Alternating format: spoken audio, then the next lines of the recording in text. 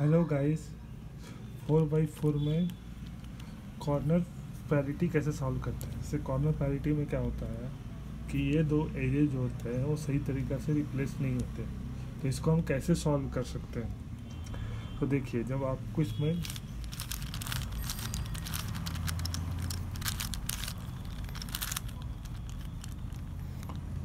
जैसे देखिए, इसमें क्या है? कि इस लेयर में ये दोनों तो सही जगह पर है, लेकिन ये दोनों सही जगह पे नहीं है। देखिए, जैसे यहाँ मेरा ऑरेंज है येलो है ग्रीन है मैच कर रहा है। यहाँ पे ये वाला इधर चला गया, ये वाला इधर चला गया। इसी को कॉर्नर पैरिटी बोलते हैं। जब ऐसे केसेस हो तो हमको जो ये दोनों जो होता है, वो फ्रंट पे लाना होता है, जो दोनों एक दूसरे से डिस्प्लेस हो।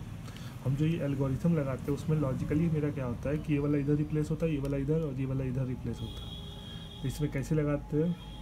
L dash U R U dash L U R dash U dash तो देखिए, जब भी आपको अगर ये तीनों में से किसी एक में कॉर्नर पैरिटी है तो उसको पहले फ्रंट पे लाना पड़ता है। जैसे देखिए, ये वाला इधर रिप्लेस हो गया, ये वाला इधर रिप्लेस हो गया। बाकी सभी पीसेस सही है। अगर मान लीजिए जैसे इसमें क्या होता है कि सबसे पहले जब ये लेयर को सॉल्व करते हैं तो हम लोग सबसे पहले देखते हैं, जैसे मान लीजिए पूरी तरह से स्क्रैम्बल्ड है। और उसको जानना है कि कॉर्नर पैरिटी है कि नहीं? तो जैसे देखिए, मान लीजिए ये। उसके बाद ये तीनों को हम, यही वाला सेम एल्गोरिथम अप्लाई करके देखेंगे।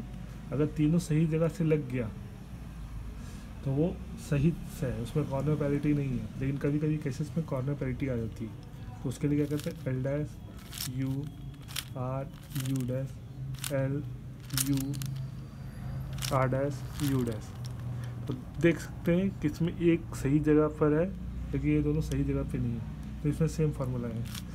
L dash U R U dash L U R dash U dash तो देखिए, इसमें क्या आ गया?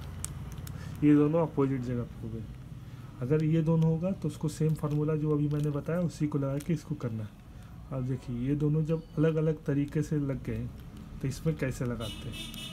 सबसे पहले ये मिडिल लेयर को एक बार मूव करते हैं आर टू दो बार मतलब जैसे देखिए, ये दोनों जो अनसॉल्व है मतलब एक दूसरे के अलग अलग जगह पर है, उसको ऐसे फ्रंट पे रख के, एक, दो आर टू यू टू फिर आर टू लगाते हैं। एक, दो आर टू उसके बाद इसमें क्या करते हैं? कि फिर एक बार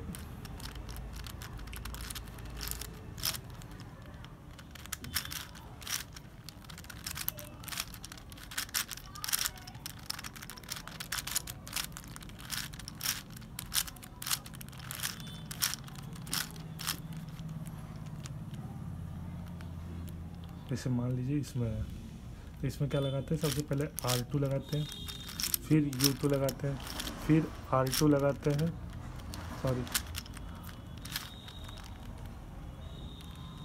फिर इसमें यू डब्ल्यू टू लगाते हैं।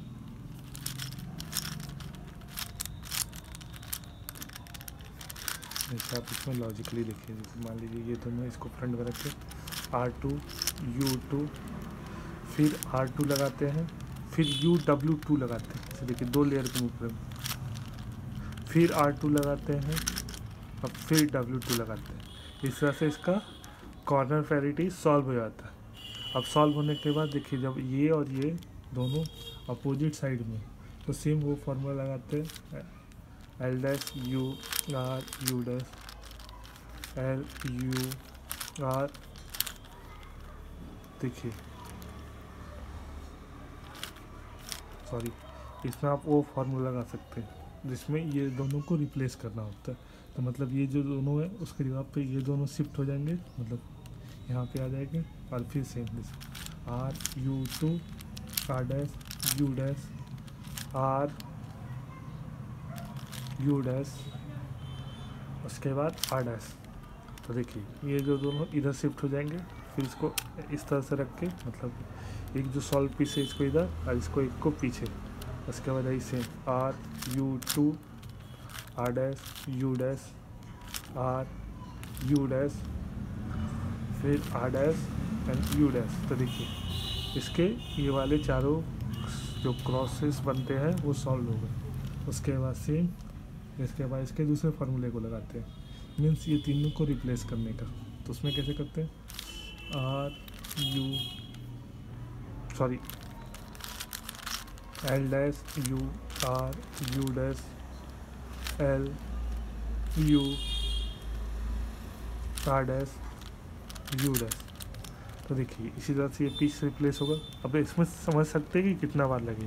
तो देखिए, ये वाला पीस इधर चला जाएगा, ये वाला पीस इधर आ जाएगा और ये वाला पीस इधर आएगा मतलब एक बार में ये फार्मूला फिर से अप्लाई करेंगे तो सेम मतलब सही जगह पे लग जाएगा। सही तरीके से नहीं लगेगा। इसे देखिए। तो देखिए। इसमें सही जगह, जैसे देखिए, ये सही जगह पर है और सही तरीके से है। ये सही जगह पर है, लेकिन सही तरीके से नहीं है। सही तरीके का मतलब येलो ऊपर होना चाहिए ग्रीन इधर होना चाहिए रेड इधर होना चाहिए, लेकिन वो नहीं है। तो उसके लिए आपको फिर यहाँ पे जब जो जो सॉल्व पीस है, जब सॉल्व पीस चारों नहीं रहते हैं तो किसी तरफ़ से ही पकड़िए। अगर सॉल्व पीस पीस है तो उसको छोड़कर बाकी को पकड़िए जैसे अगर मान लीजिए तीनों अनसॉल्व रहते ये सॉल्व रहते तो इसको छोड़ के पहले इधर से देखते हैं। अब देखिए, इसमें देखते हैं कि फ्रंट पे है कि बैक में। अगर ये फ्रंट पर है जैसे यहाँ दिख रहा है फ्रंट पर है तो इसमें लगाएँगे R dash D dash R D इसको चार बार लगाएँगे। R dash D dash R D R dash D dash R D R dash D dash R D R dash D dash R D देखिए, चार बार लगाने पर ये सॉल्व हो गया। फिर इसको मूव करेंगे। जो मेरा सॉल्व जैसे मान लीजिए ये सॉल्व पीस है तो इसमें कोई दिक्कत नहीं। अगर ये अनसॉल्व पीस रहेगा जैसे ये अनसॉल्व पीस आ गया। तो देखिए साइड में साइड में है तो मुझे इस फार्मूला दो बार लगाना पड़ेगा फिर। इसको मूव करने के बाद। इसका ओरिएंटेशन को हमेशा फिक्स रहना जब भी ये चारों सॉल्व करें। इसमें तो दो सॉल्व करें, इसलिए इसको उसी तरह से अगर मान लीजिए ये अनसॉल्व रहता तो फिर इसको ला के इसी को मूव करना है। ये अपनी हैंड को मूवमेंट नहीं देना। है उसके बाद यहाँ पे से R dash D dash R D R dash D dash R D उसके बाद देखिए आपका ये फोर बाई फोर सॉल्व हो जाएगा। इस तरह से आप डिटेल में कॉर्नर पैरिटी को सॉल्व करके उसके लास्ट लेयर को भी आप सॉल्व कर सकते हैं। Thank you